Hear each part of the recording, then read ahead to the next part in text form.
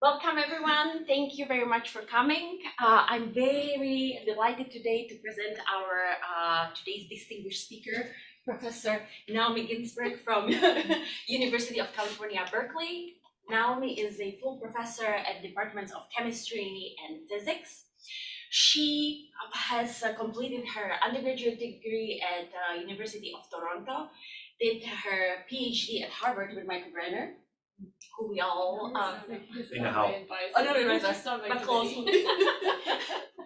um, and uh, she completed her, she then did her postdoctoral training at the uh, Lawrence Berkeley uh, National Laboratory.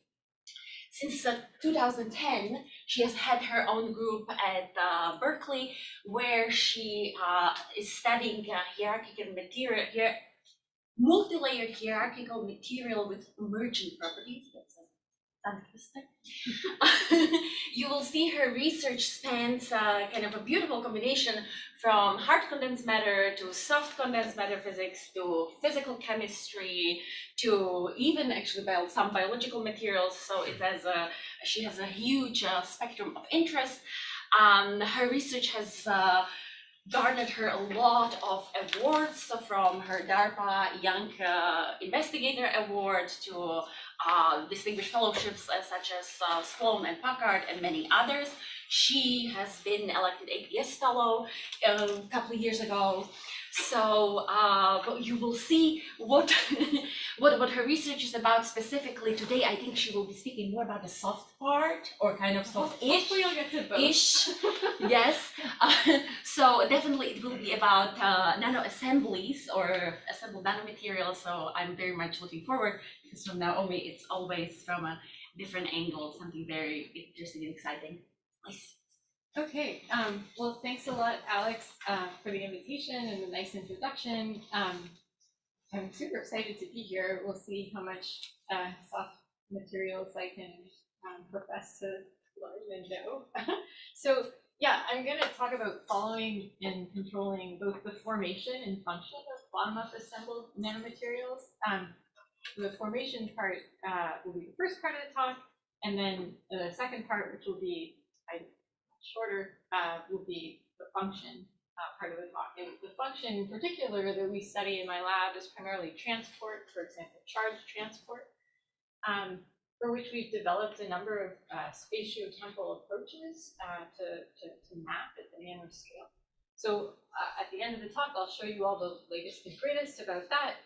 Um, but for a long time, you know, we've been doing that since my lab's inception, and uh, for a long time, I get up and I motivate my talks by saying, well, especially for materials that are assembled bottom up, because the basic building blocks are more complex than individual atoms, um, you know, the bonding interactions are generally somewhat weak. So we end up with uh, many different aspects of heterogeneity in the materials that are formed. Uh, and so it's really important to have the spatial, not only the temporal resolution to measure transport, because um, we need to be able to correlate the uh, anomalies in the structure uh, to uh, anomalies in the transport behavior.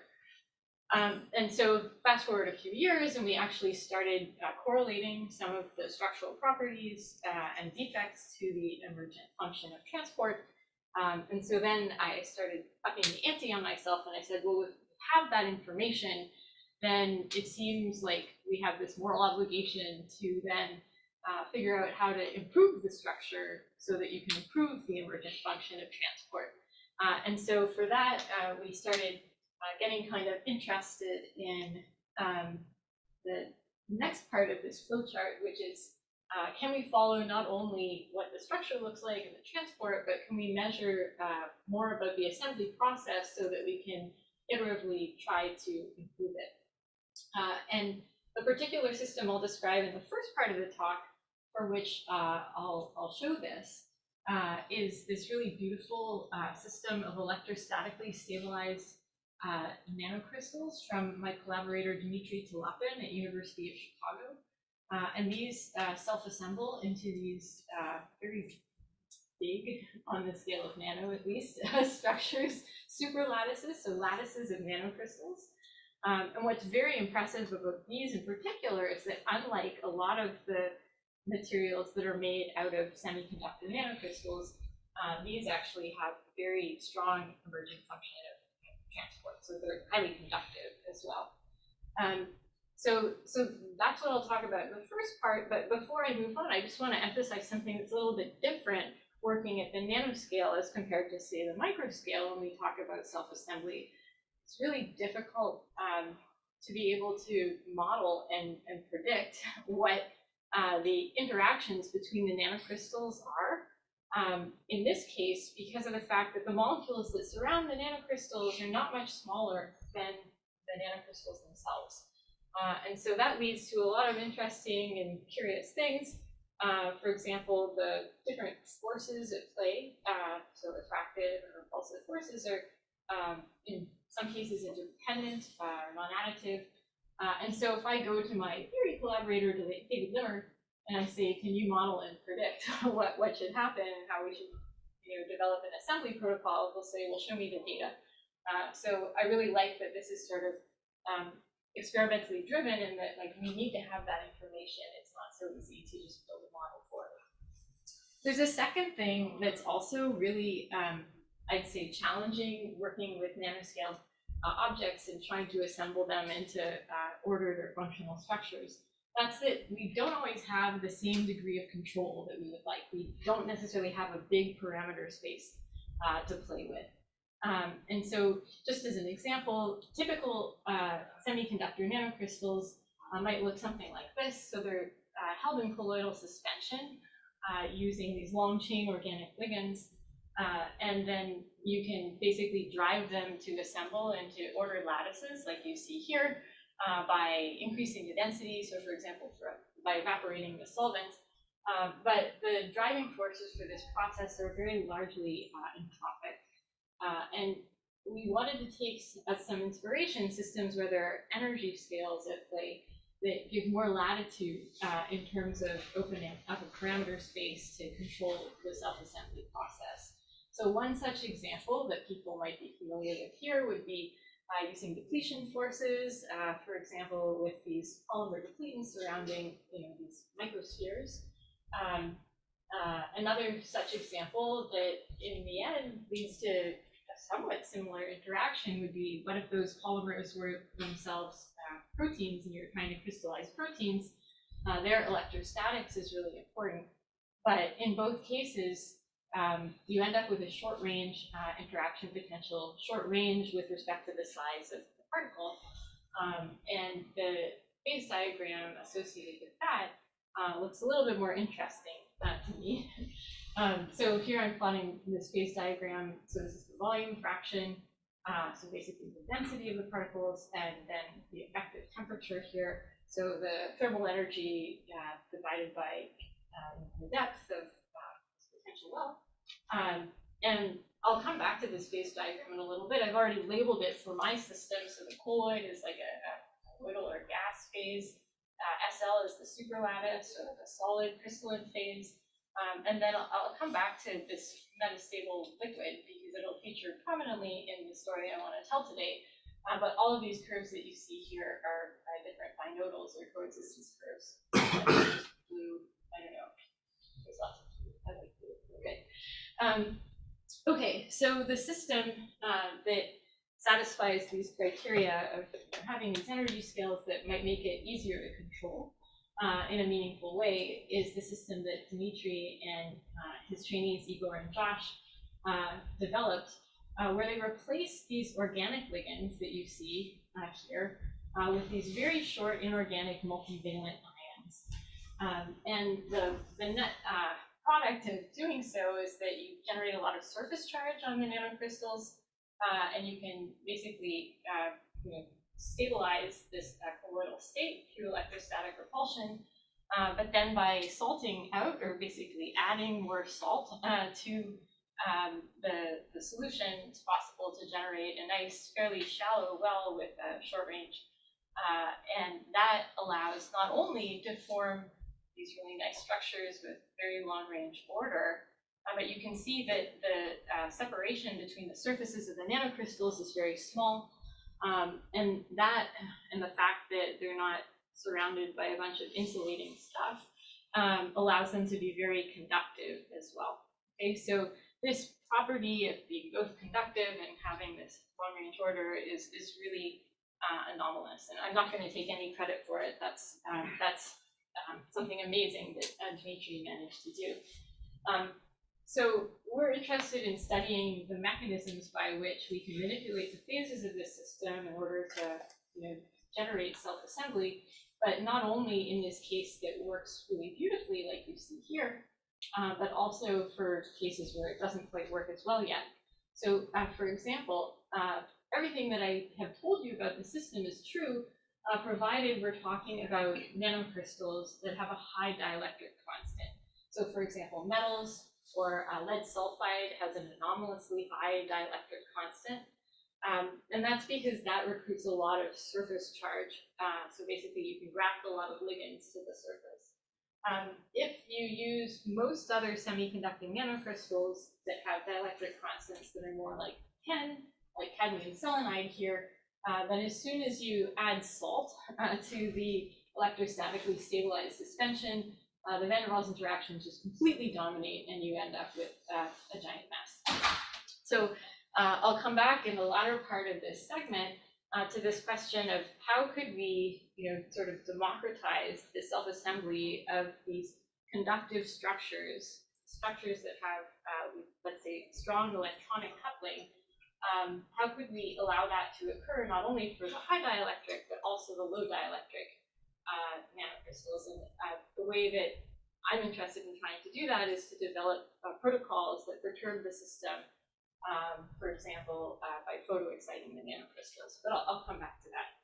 In the meantime, uh, I want to focus on, you know, what we can learn uh, by studying the system that self-assembles and behaves uh, and the primary tool uh, that we've used in order to do that is um, small angle X-ray scattering, um, which I suspect a number of people are very familiar with here already. Um, the, the idea is that we're basically starting with uh, colloidal suspension. Uh, in this case, I'll talk about lead sulfide nanocrystals and, and the ligands on the surface, these multivalent anions. It doesn't really matter what they are, but you know, this is the molecule, this is what they look like.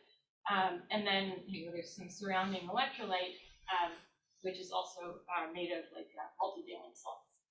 Um, and so then we go to the beamline and we put our gas tight apparatus uh, into um, the beamline itself, and you can see this is tube little red here uh, that has our uh, dark uh, solution of nanocrystals, and then we inject a whole bunch of salt into that cuvette, and then we watch what happens before, during, and after that injection process, and we try and follow this through until the system reaches equilibrium.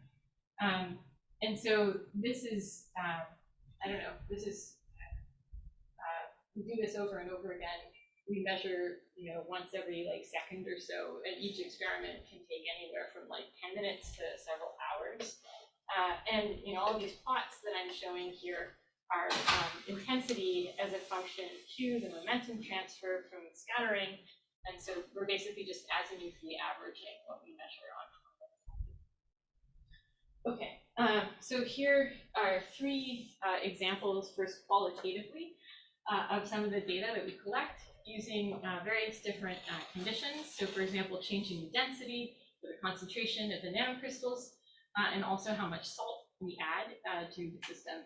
Um, and now, uh, before I sort of get into analyzing those, I, I want to come back to this phase diagram. Um, so I guess one thing that's important to point out is that here I'm basically plotting what you might see as a function of the volume fraction uh, but because we have a, a liquid phase, uh, so something that is high density uh, and low order, we need another order parameter. So if you imagine picking some point, um, you know, here in the phase diagram, uh, and just plotting like some free energy surface, maybe it looks something like this, I don't know. Um, but the main point is that uh, now we want to have you know, order and density both represented explicitly, and that gives us and the ability to sort of visualize this high density uh, low order phase.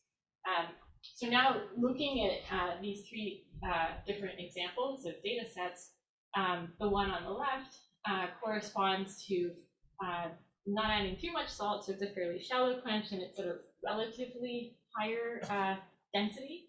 Um, and we see only the colloidal uh, contribution and also the superlattice contribution um, when we analyze these data. So we would call that a, a one-step or, or classical nucleation process. Um, whereas if I look at a slightly lower uh, uh, nanocrystal concentration, uh, but also a fairly shallow quench, so not adding too much salt, uh, then I also see evidence of a liquid phase uh, showing up uh, in the data. And so that is what we would generally refer to as being a, a two-step nucleation process or a non-classical nucleation process. And if the, the third data set here was quenching deeply, uh, so you can see the peaks are broader, there's more disorder, it's a bit more kinetically trapped, but that also looks kind of two-step. Okay, um, but we can get more quantitative with this. Uh, so uh, I was actually a little bit surprised. I guess it's a little bit surprising in many cases to see that there's a liquid state too, but um, but there are, there isn't a lot of like actual fitting of, of these sorts of data. But uh, Vivian and Christian, the two students in my lab who um, work full time on this project, um, put together uh, a, model that they could use in order to fit the data not only you know at one time, but you know, we can basically do this, like just following the whole process through so that we know how many of our nanocrystals are in each phase as a function of time. Um, I'll come back to the kinetics, um, but just looking at, you know, the end result uh, for each of the data sets I showed on the previous slide, uh, you can see with my color coding of the different phases that the outcomes are quite different. Um, so over here on the left, uh, the dashed green curve represents uh, the initial condition. So when we have only colloid, you can see that we don't deplete that particularly much uh, in this case, but we do generate um, the superlattice spread peaks. This is an FCC lattice. Um, we do see the liquid, so this blue curve uh, showing up in both of these other uh, cases. Uh, there's more of it when we quench more deeply because we suppress the colloid more too. and there are various other differences as well. Um, but when you have all of this sort of information, and I can guarantee you we've done, you know, maybe a hundred experiments, I, I don't know, uh, not just three, uh, you want to consolidate all of the information. And so one way that Christian decided to do this was um, by trying to put together the phase diagram for the system. So here I'm not putting like all the data from all of our experiments, but in a self-consistent way, we can look at what happens with a few examples. And um, all of these, you know, arrows to represent the quenches here that I've been drawing on this cartoon, um, actually, the space that we have accessible to us uh, is really a very low volume fraction, uh, just because of where we can stabilize the colloid uh, in, in, the, in the phase diagram. Um, but you can imagine that for each of these cases, and there's a lot of rich information all the way down here, um, if each of the end points of these arrows is basically going into some coexistence region, um, then you know I should be able to sort of draw my tie lines and the densities that I see associated with each of the phases should be um, the densities that allow me to map the coexistence curves. So that's in fact what we can do in this particular case. Uh, the colloid fraction uh, over here, uh, we basically determined just from like how much is left in the colloidal phase. Um, the blue points here uh, associated with um, that met metastable liquid colloid binodal uh, are um, just taken from the uh, density we get for the uh, bits uh, for the liquid, and then we can, you know, just based on the position of the Bragg peaks, we, we can determine the density uh, associated with the superlattice or crystal phase. So that means that we can move from a cartoon like this uh, to something that's a little bit less cartoon-like, uh, and we really know, like quantitatively, you know, like where these curves are, and this gives us predictive power that we're really excited to be able to leverage. Um, especially because, in principle, this should teach us what we need to know uh, in order to be able to um, invert and get information about that elusive interaction. Um, there's also another way uh, that we can try to get at interaction potentials, and that's using uh, XPCS or X-ray photon correlation spectroscopy. Um, so XPCS is uh, basically uh, we're basically firing coherent X-rays uh, at, let's say, uh, a diffusing colloid like this one here, and we have a pulse train of these coherent X-rays, and the detector is measuring just as fast as the pulse train, uh, so that we measure fluctuations in speckle pattern uh, on the detector, um, and we can pick out for any given point uh, on the detector for a particular value of the momentum transfer we can determine the time autocorrelation function to know what the decorrelation time is uh, for uh, the system.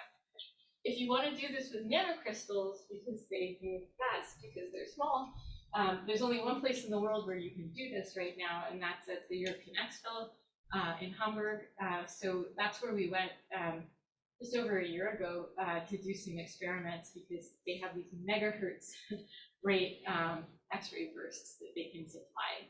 Uh, and so this was really exciting. It allowed us to do the first XPCS measurements uh, on, on nanocrystal uh, colloids. Um, and you know, we were able to extract, analysis is rather complex because you have to worry about what the x-rays might be doing in addition to just measuring. Um, but in a nutshell, uh, we get decorrelation times that are just under a microsecond. We're pretty confident in these because they correspond to hydrodynamic diameters that are basically just a few nanometers larger than the core size of our nanocrystal, which is about six uh, nanometers across. Um, and so that's really cool. You can see we're kind of pushing the time resolution of the instrument because we're using small particles.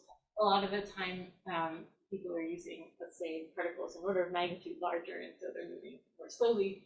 But we can also constrain uh, with like speckle visibility analysis. That would constrain the time zero um, because we have this predictive power with our phase diagram, uh, in addition to uh, being able to measure uh, the uh, decorrelation time, uh, but this is actually, this is really, by the but just first, um, uh, of the colloidal suspension, you can prepare the metastable liquid and do the same thing. and this was super exciting to be able to do. The time scale that we get in this case is about an order of magnitude longer, um, which seems reasonable to us. I was very excited to see these data because for a long time we wondered, like, is this a liquid or is this just an aggregate? And so now we know that these nanocrystals are actually diffusing within droplets of, um, you know, high density of uh, these crystals. And, you know, there's a lot of XPCS that's done on liquids, but one thing that is kind of cool about this is because we're using nanocrystals, which are larger than molecules, uh, we can actually measure on the characteristic uh, length and time scales associated with those individual constituents. Um, so, uh, okay, I already told you that these are distinct. Um, but let's see, the other thing I wanted to point out that's nice about doing this with x-rays instead of, let's say, visible light, uh, is that we can um, measure the dispersion uh, and the relaxation rates for the system, and we can therefore have more confidence in the difference between the colloid and, and the liquid uh, um, fluctuations that we're measuring. Uh, and Christian was also interested to see how that would compare with what we might predict with molecular simulation. Um, and this is a little bit of a busy plot. We're basically measuring all the way down here in this corner uh, but we do see um, that uh, we get these um, smaller relaxation rates for the liquid than we do for the colloid, and also that if we had an aggregate, we would measure something completely different. Okay, um, so everything I've talked about so far is focused on thermodynamics, but I just told you like we can measure the time evolution of the system.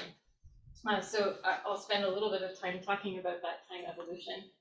So these are from the same uh, three uh, classes of experiments or sets of conditions that I showed uh, earlier. Um, so for example, in this case where we did a shallow quench at a higher density, uh, you can see that there's this interconversion between uh, the colloidal and the superlattice phase on a time scale of uh, several minutes. There's no evidence for any liquid that's present there. Um, then if we look at uh, shallow quench at a, a lower density, um, we see a very rapid interconversion between the colloid and the liquid phases. And then um, uh, there's this time lag before we start to see any of the superlattice emerge. And then at this deeper quench, uh, we basically obliterate the colloid very much instantaneously, and then over you know a few tens of minutes, we see this very clear interconversion between the liquid and the. Uh, so in terms of one-step and two-step nucleation that uh, I mentioned before, so this is decidedly you know one step. This is decidedly two-step, especially since we see the separation of timescales to go from colloid to liquid to uh, superlattice. Um, and you know, this is maybe somewhere in between. Okay, uh, so again, we have more than three experiments. We want to be able to classify them and go a little bit further than this. Uh, so Vivian basically took all of our data, which again, you know, come from parts of the phase diagram that are at very low volume fraction. Um, you can see that we took a lot of data points here. Uh, hopefully that signals that there's a lot going on. This is a really rich part of the phase diagram to look at. Um, and the one-step part would be between um, these two binodals here, whereas the two-step uh, data that I'm showing are down here. And um, if you don't believe me that, like, I'm not just saying this because we have access to that part of the phase diagram, but Uh, so in, you know, like uh, computational studies for um, particles that interact with short range potentials, um, there are very steep gradients in both the, you know, the nucleation barrier and the corresponding nucleation rate that are at, at low densities. Okay, so um, we spend a decent amount of time studying all these data uh, along here uh, to try to understand the kinetics as a function of um, the volume fraction, uh, which you might think would scale quadratically, uh, but they don't exactly.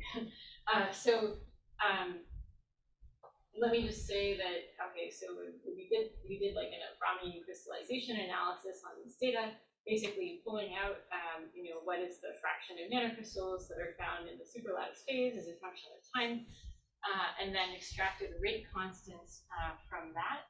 Uh, so like Avrami rate constants from that, um, and so these fit very well to what we would expect when we put in all of our uh, factors of density and the kinetic prefactor and, and so forth.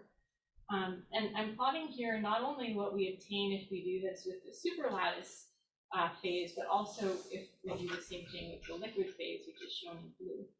Um, so what this taught us is really quite um, interesting. It basically uh, tells us that um, converting from liquid to superlattice is essentially barrierless or very close to barrierless. Uh, and the rate limiting step is condensing to a dense phase in the first place.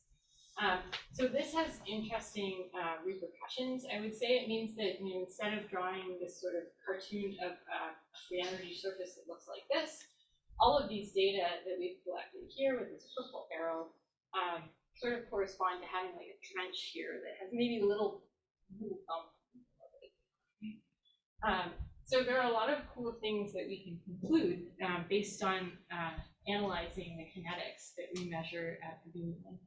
Uh, so I guess uh, the first is that we have both one-step nucleation, two-step nucleation that we have access to, but also what um, I guess these guys would call uh, effective one-step in nucleation.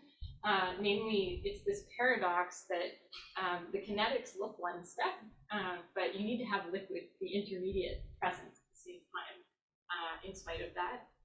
Um, and then um, the other thing that is obviously very interesting these days about uh, looking at non-classical nucleation processes is whether uh, they present opportunities to accelerate the crystallization rate, uh, which we suspect is happening too. Okay. Um, so that's uh, the kinetics uh, in a nutshell. So I talked about the thermodynamics and the kinetics of this uh, system of lead sulfide uh, nanocrystals that are electrostatically stabilized to start with, um, where we can super uh, we can assemble them into these nice super lattices. Now I want to return to this question of you know what if we wanted to do this with other types of semiconducting nanocrystals as well. Um, and so uh, I think the most important thing um, to emphasize uh, in order to address that question is, um, you know, the surface charge, uh, because we believe that there's a lot more uh, surface charge just because of like a higher amount of ligand grafting density uh, with these high dielectric nanocrystals than for low dielectric ones. Um, to unpack that uh, in a little bit more uh, detail, uh, so uh, when we have um, high surface charge, we can measure like zeta potentials, but it, it's actually a, a somewhat challenging measurement to, to do and trust. Another proxy for the amount of charge that's on the surface of the nanocrystals, um, which is facilitating this nice process of self-assembly, um, is to look at the solvation shell that surrounds them. Um, so our model for what we, we see there is not only these like very highly charged let's say blue ligands that are sitting on the surface of the nanocrystals, but that we generate this over-screening effect um, that uh, also shows up uh, when we measure the uh, pair correlation function using wide-angle X-ray scattering. So here, uh, this is basically just looking at um, what gets templated by the surface uh, of the nanocrystal. So we see uh, these charge correlations um, on high dielectric uh, nanocrystal surfaces, but not on low dielectric nanocrystal surfaces. So in the context of self-assembly, um, with this system that I've primarily been analyzing for you uh, with lead sulfide, um, how does this all shake out? So the dielectric constants of lead sulfide is quite high, it's 170. Um, we're using uh, a solvent with a dielectric constant about a factor of two smaller than that. Uh, and so basically, as we add uh, salt uh, to the solution and we create um, an attractive potential well, we have a lot of control by which we can assemble structures with gauge order. The liquid, in some sense, even though it accelerates things relative to if it weren't there at the same exact, um, you know, conditions, um, it does act as a sort of kinetic buffer that allows a lot more control than we would have otherwise. Um, we've done as many experiments on um, a system of gold nanocrystals with the same molecules grafted to the surface uh, in another solvent, and here, because the gold is a conductor, uh, this ratio of dielectric constants is infinite. Here, we still get assembly uh, into superlattices with long range order. Um, and this has also allowed us to you know, compare these two systems and, and estimate to some extent more about the nature, the relative nature of the interaction potentials. Um, but we don't have nearly as much control with the gold system as we do with the lead sulfide, partly because uh, it seems like uh, that metastable liquid colloid binodal is, is suppressed to a, a greater degree. Now if we come over to the low dielectric nanocrystal side of the picture, um, because the dielectric constant is low and an electrolyte is polar by its very nature, um, usually this is, you know, um, this ratio of dielectric constants is lesser than one. Uh, and that's why when we add salt to destabilize the electrostatic repulsion between the nanocrystals, we end up with a diffusion limited aggregate. So this is something I really wanted to change. I wanted to find a way to make cadmium selenide nanocrystals in their solvation shell look more like lead sulfide. And so being me, uh, I decided we should fire lasers at, at our nanocrystals. Um, and so we haven't done this yet with cadmium selenide nanocrystals, but we have with the high dielectric lead sulfide counterparts. We basically ran self-assembly experiments where we deeply quenched the system to generate something with a lot of disorder. Uh, and then, um, you know, compared what happens when we illuminate the system and photoexcite the nanocrystals during this process versus not. Uh, and um, lo and behold, we slow the kinetics and, and we make nicer looking superlattices with higher crystallinity. Um, and you know, we've played around with modulating um, the optical field on and off, uh, and there seems to be various aspects of reversibility uh, in what we're doing there, uh, but we're like continually annealing these systems. Um, so we're going to go and collect more data. What I can say at this point is that we're certainly elevating T star you might argue that we're heating this sample. I'm going to show you uh, some reasons in a moment why I think there's also an electronic effect, either increasing transiently the dielectric constant or maybe even the surface charge.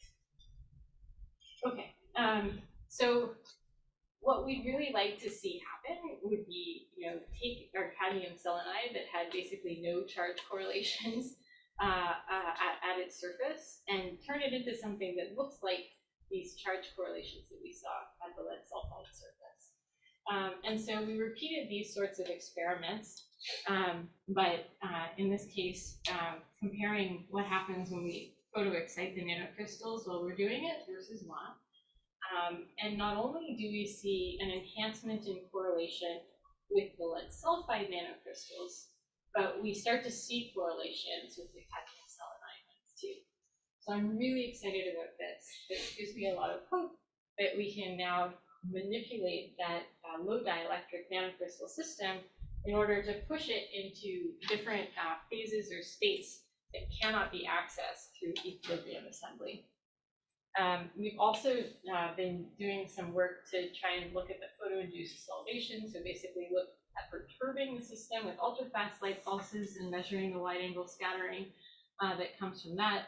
Uh, and very preliminarily, we see, I'd say like, uh, I think that hope, but I don't really want to go into all the details of this data. I want to make sure I, I tell you more about some of the other things that we're working on uh, in my lab too.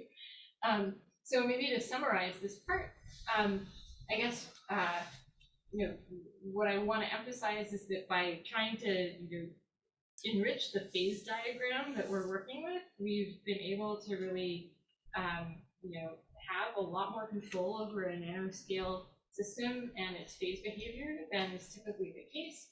We were looking specifically at this uh, system of electrostatically stabilized nanocrystals from Dmitry's lab um, that assemble into uh, highly conductive structures that he likes to call uh, strongly electronically coupled. Uh, I characterized all of the uh, thermodynamics uh, of uh, the system for you. So we looked at the different phases, the phase diagram itself, the fluctuations of the different phases. That gave us the predictive power to really mechanistically study uh, the kinetics, so the dynamic evolution of the system, where we were able to access these three different uh, pathways, uh, both classical and non-classical, uh, and and this is exciting for a nanoscale system. It means you can dial in, you know, like the size of what you create, how long it takes to create, you know, how crystalline it is, and, so forth.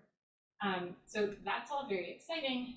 Uh, and then in terms of democratizing, you know, the process of assembling into uh, these structures with long range order and high conductivity to like all semiconductor nanocrystals, which have like many more applications than just lead sulfide. Um, there are a few design principles that I feel like we've learned. Uh, so first, by comparing different systems, uh, we've been able to zero in on the sort of balance that we need between dielectric constants of the nanocrystals and the surroundings, um, and basically how much uh, we manipulate um, you know, the ionic strength of these solutions in order to balance up the van der Waals interactions to be able to control the assembly process. Um, and then in terms of the photoinduced work uh, that we've recently started doing, uh, we're quite confident now that there is an electronic effect going on, that this isn't simply due to heating. Uh, and um, we have a lot more work to do, uh, but uh, I'll come back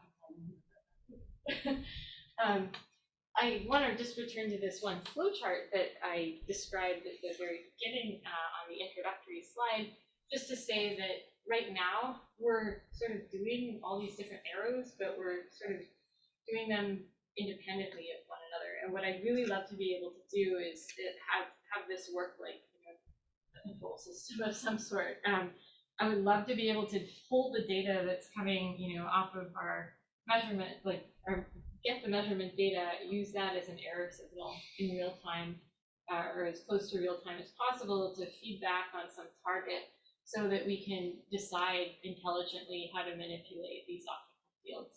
Um, so that seems hard, but I still want to do it. If you're interested, uh, you should come talk to me.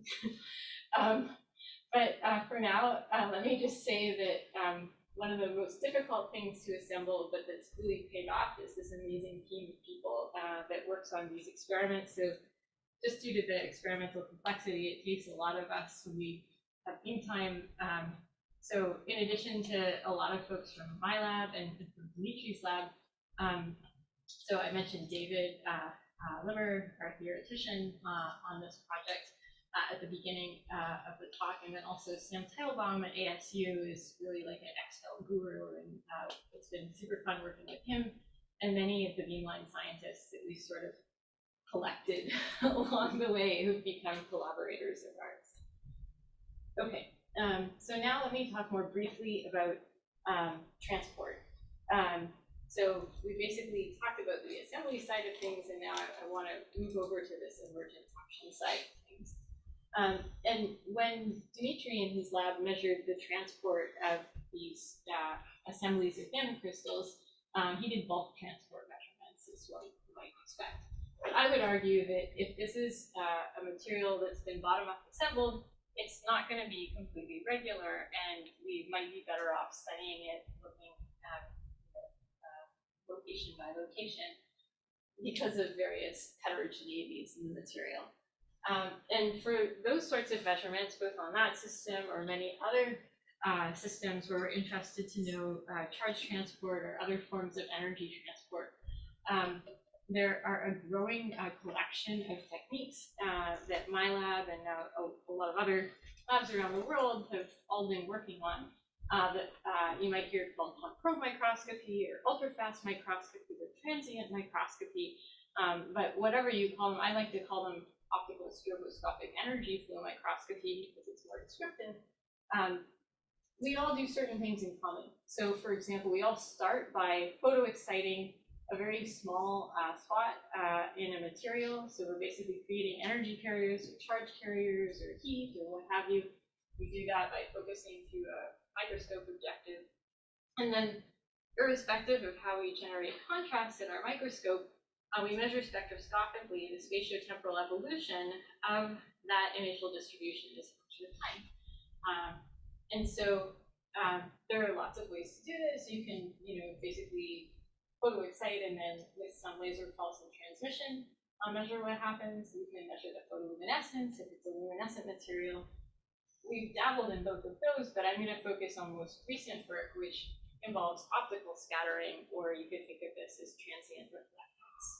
Um, the reason that I like to think of it as optical scattering as opposed to transient reflectance is because um, we were inspired by um, interferometric scattering microscopy. So this is very similar to um, digital lithography.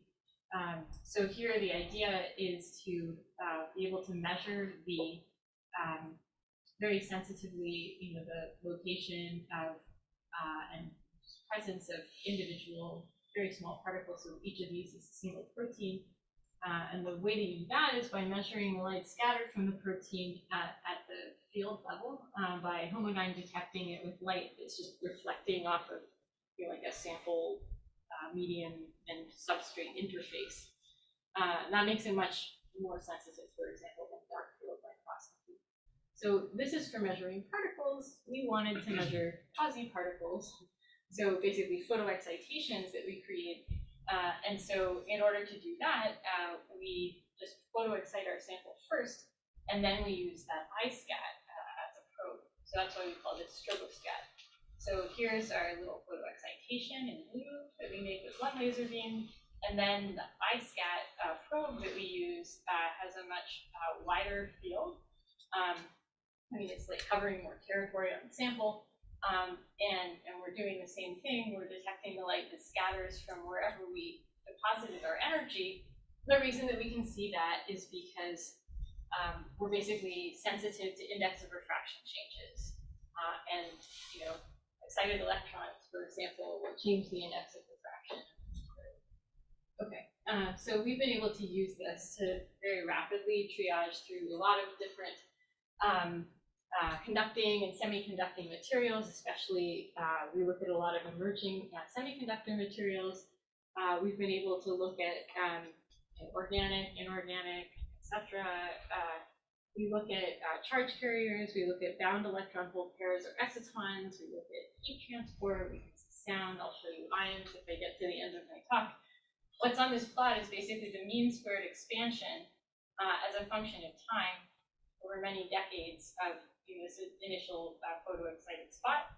Um, and very quickly we can you know measure um, the, the mean squared expansion with like single digit nanometer sensitivity. Here's an example of just one movie uh, looking at a polycrystalline semiconductor material. That might look hard to interpret. For now, just note that you have both light and dark contrast about this sort of uh, gray background uh, because it's Okay, so um, I'll show you what, what that actually meant. Uh, and also like a, a, few very short vignettes associated with electronic transport and materials. And the materials I'll talk about here are um, halide perovskite uh, semiconductors, which have become very um, competitive uh, as um, self-assembled semiconductors uh, that are uh, rivaling the power conversion efficiencies of silicon uh, for photovoltaics uh, these days. They're just not as stable, so there are a lot of people working on that. Um, so in these polycrystalline materials, there was this uh, confusion over how charge carriers could get from one crystalline grain to another uh, when um, measurements of the interfacial resistivity across grain boundaries was infinite. Uh, what we discovered uh, by basically correlating the bright contrast here to the grain boundaries in the material, which we can also measure in situ in the same microscope, uh, is that the charge carriers were going deeper beneath the surface of the film in order to find a place where they could cross from one grain to another. And so here is another example of where the interferometric aspect of the technique was valuable. When looking at the transport laterally, uh, we could see that based on these sort of pauses that show up in the mean squared expansion as a function of time. So you'd see diffusive behavior, then some sort of pause, and then more diffusive behavior until all the charge carriers drop. And we can see trapping in a lot of other uh, contexts in um, various other uh, sort of structures of these materials. So here are these bundles um, of ultra thin wires of this material uh, where uh, studying the transport and seeing the trapping taught us that uh, basically each of these individual ultra thin wires is like perfectly crystalline. It's just the end facets that are the problem. Um, there are other examples, uh, I guess, I, I don't want to spend too much time on that. I want to show you a few things before I close. Uh, the upshot is that, you know, we see a lot of anomalous behavior that doesn't look perfectly diffusive. It's piecewise in various ways we're starting to get good at being able to parse what is due to what sort of defect, whether it's a point defect or a um, grain boundary or what have you. Um, and so this is really becoming an incisive tool to correlate structure with function. So that was all electronic aspects of transport. Um, here are uh, some examples where we were uh, also looking at thermal transport. The reason that we're interested in heat uh, is because anytime you photoexcite anything with a laser, you generate heat. Most of the time with like optical spectroscopy, you can't see that. Um, but it can be impacting what it is that we're measuring, either what we're interpreting, uh, and whether that's correct, uh, or it could actually, you know, cause problems in thermal management. Um, so James in my lab some time ago um, had assembled films of uh, the gold variation, those nanocrystals that I spoke about in the first part of my talk. Uh, and first what he found is that if there were voids in the materials, uh, the heat transport that he measured was subdiffusive. Uh, but when he used those special ligands uh, on the surface of the nanocrystals, what we discovered is that we could see these ballistic sound waves that were emanating from where we photoexcited the sample. And so this taught us that um, the this composite material was not only strongly electronically coupled, but also strongly um, mechanically coupled. Um, so that's one sort of thing that you can learn. Um, another thing that's been really uh, helpful is that, you know, in materials where you're interested in the electronic, or in this case, excitonic transport, like in um, uh, some of these more recent 2D materials, so transition metal dichalcogenides, um, you'd like to understand the transport, um, but the heat is ubiquitous. Uh, Hannah discovered uh, a way to use different wavelengths uh, to probe a sample where she could either see only the heat, which is shown in black, um, or heat and uh, also the excitons. And by doing some somewhat, uh, you know, thoughtful arithmetic, um, extract uh, the contribution that comes only from the excitons so that we can determine their transport properties as well. Uh, in the process, we discovered that we can measure temperatures, temperature elevations down to about uh, like a, a 100 millikelvin. And so we're pretty excited about that because this gives us a way to look at energy transduction between like one form of energy uh, and another. Um, and know, here's another example where we see heat and charge transport happening um, uh, at the same time. In this case, in an anisotropic material where we're able to see how structural anisotropies map onto um, functional anisotropies with the charge uh, carriers primarily going in one direction along one crystal axis and the thermal transport primarily happening on another which could have some important implications for things like thermoelectrics. Okay, um, so I think that I'm not doing very well on time. Is that true? You have a few minutes. A few minutes. Okay, so I think I'm because of that, I'm going to skip over this. Um, we've done some benchmarking work in silicon. There's just lots of animation. We can see very mechanistic things like carrier-carrier scattering, but I don't want to talk too much about that. Um, here, uh, we um, we also see heat and charge in transition metal oxides. So these are other semiconductors. Let me just say about these that transition metal oxides are uh, a candidate for photoelectrodes for um, solar fuels generation. So basically, uh, can we um, can we scrub CO2 from the atmosphere and use sunlight in order to uh, reduce it in order to form uh, small molecule fuels? Um, and um, and basically these materials don't corrode when you try and do that. They've also allowed us to start seeing peculiar uh, non-equilibrium effects, like looking at non-thermal distributions of phonons at short times that uh, we're interested to figure out how to mechanistically study with uh, stroboSCAT.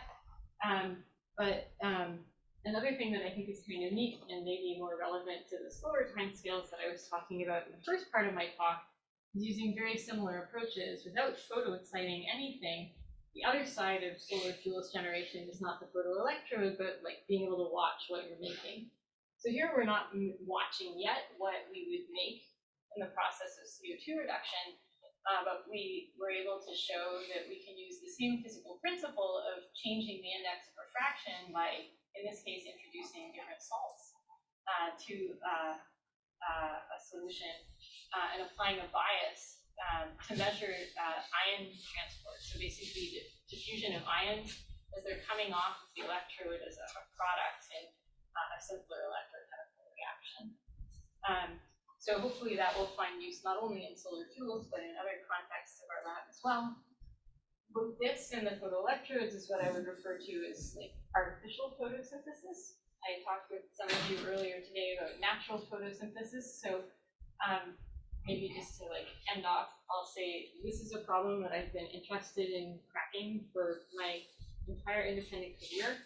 I really want to know why, in the very first picoseconds of photosynthesis, light is absorbed in one spot inside of a plant leaf, inside of a chloroplast, and so forth. Uh, and that energy, in the form of a bound electron hole pair, knows how to make its way to a dedicated location that uh, initiates all of the biochemistry we don't understand why this process is near unity quantum efficiency. We really like to know why, because we don't know how to do this synthetically uh, ourselves. And so I've wanted to develop all of these spatiotemporal transport techniques in order to just measure it. Uh, and now this is preliminary data, but for the first time we actually have a measurable signal. Um, this comes from organic spinach from Trader Joe's. um, um, and uh, we're basically comparing here what happens if we add an herbicide to it or not. That just like elongates the diffusion length. Um, there are a number of different things that we can do next. We can look at the ways that uh, nature tries to regulate these processes and, and various mutants that our collaborator Masa uh, is able to supply. Uh, but I'd also like to see uh, how in those processes heat is generated uh, and whether we can detect that heat that's generated to like harmlessly dissipate excess energy. Okay, so uh, to summarize this um, optical part of my talk, uh, optical scattering is tricky because you see everything whether you want to or not, um, and at the same time, um, you can really leverage that if you work hard at it. And I feel like we're starting to be able to see different species that we're uh, generating, be able to distinguish them from one another, uh, and there's a lot of work yet to be done. And whereas in most of these stroboscopic microscopies, people are focused on electronic forms of energy, it's exciting now to be able to look at ions and ion transport uh, in a range of uh, new problems, and also to look at these thermal effects. And that is also helping us to get to some of these more um, short time, like picosecond time scale non-equilibrium effects that I briefly alluded to. Okay, so with that, hopefully we see that we're trying to get through assembly, structure, and function. Uh, and I'll close by thanking my research group and collaborators for their talent, dedication, and resilience over the past uh, several years, and thank you for your attention.